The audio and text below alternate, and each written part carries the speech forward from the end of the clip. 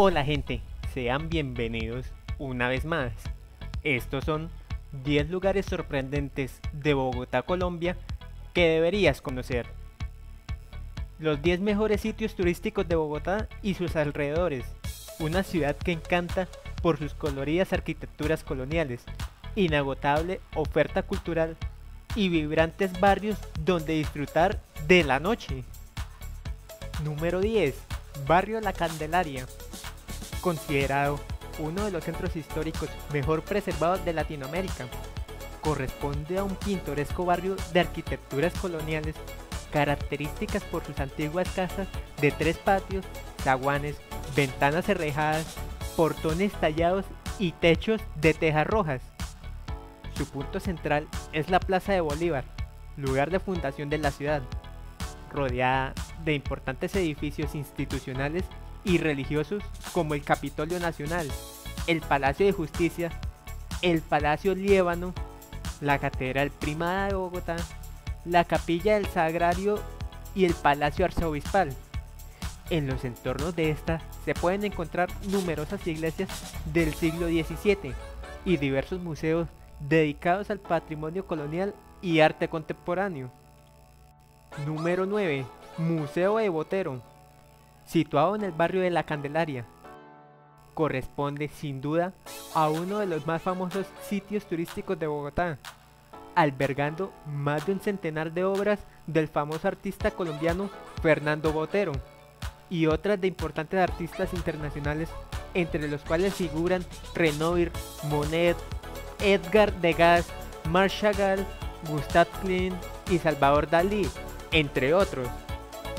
Entre las obras de Botero se pueden encontrar una amplia variedad de exploraciones en óleos, dibujos y esculturas donde el autor pone de manifiesto sus tan características volumetrías exaltadas.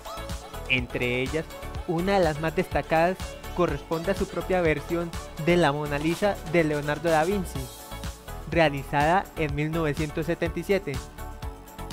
La entrada es gratuita. Número 8.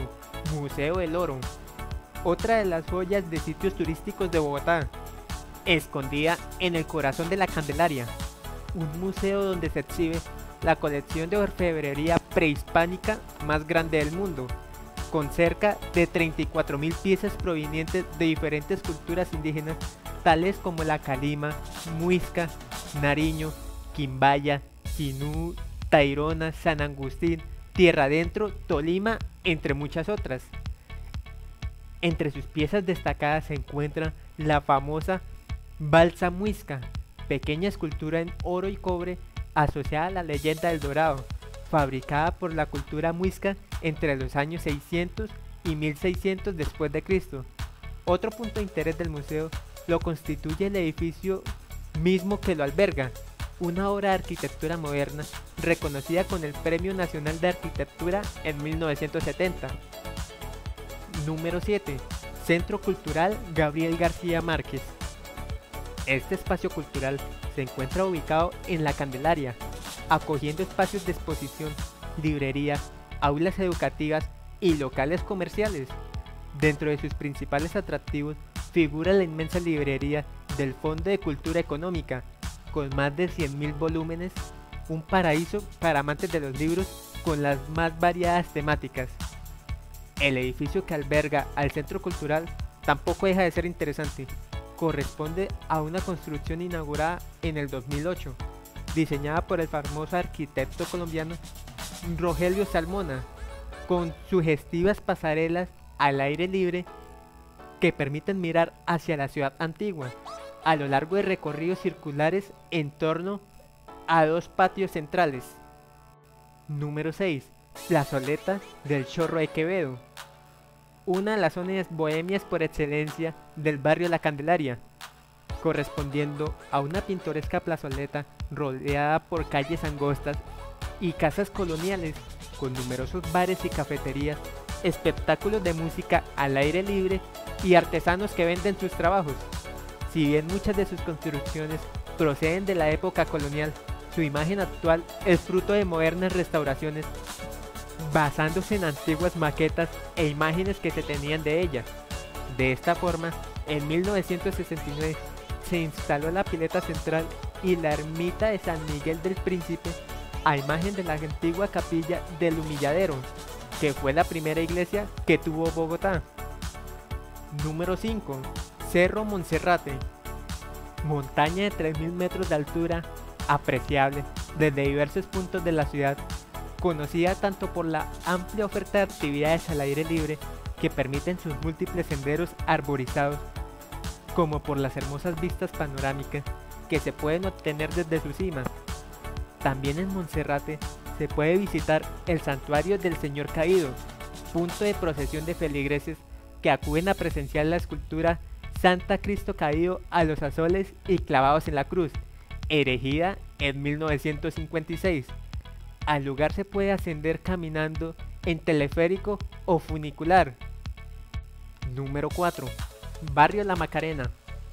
Una de las zonas más bohemias de la ciudad, conocida como el Soho de Bogotá, haciendo alusión a los ojos de Palermo en Buenos Aires, Nueva York y Londres, destacando por su concentración de tiendas de diseño, galerías de arte, bares y restaurantes. Dentro de sus sitios de interés destacan el inmenso Parque Independencia, las torres del parque proyectadas por el famoso arquitecto colombiano Rogelio Salmona, el Observatorio Astronómico y la librería Lubina. Esta última, una interesante tienda que permite revisar una amplia variedad de libros mientras se disfruta de una copa de vino o una taza de café. Número 3. Torre Colpatria. Situada en el barrio financiero de la ciudad, corresponde a uno de los más representativos sitios turísticos de Bogotá y al rascacielos más altos de Colombia, alcanzando la impresionante altura de 196 metros. Su mayor atractivo corresponde a su mirador en el piso número 50, desde donde se puede obtener espectaculares vistas panorámicas del centro de la ciudad durante la noche. La torre es normalmente iluminada con luces LED. Número 2. Laguna de Guatavita. Localizada a 75 kilómetros de la ciudad, corresponde a una laguna a 2.990 metros de altitud, famosa por ser el lugar al que hacen alusión las antiguas leyendas del Dorado, según la cual el cacique Muisca llenaba la laguna con oro y tesoros como ofrenda y símbolo de adoración a la diosa del agua. El pueblo localizado en su entorno fue construido en la década de los 70 con el fin de reubicar a los habitantes del antiguo pueblo que quedaría sumergido por la construcción del envase de Tomine.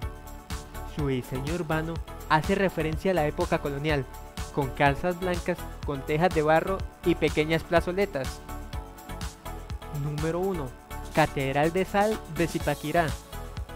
A 48 kilómetros de Bogotá, se sitúa uno de los más singulares atractivos de la región, correspondiente a un templo religioso construido en el interior de las minas de sal de Zipaquirá.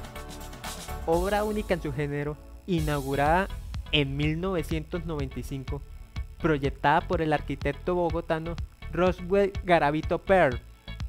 La iglesia subterránea hace parte del complejo cultural Parque de la Sal, espacio cultural temático dedicado a la minería, la geología y los recursos naturales, que cuentan entre otros espacios con el Museo de la Salmuera, la mina y el embalse. Hasta aquí este espectacular Lugares Capital. Para ver más videos como este, no olvides visitar mi canal, suscribirte y activar la campanita de notificaciones para no perderte ningún otro. Además, dale like, comenta y comparte para que esta familia crezca aún más. Yo soy Joan Cala y nos vemos en un próximo video. Chao chao.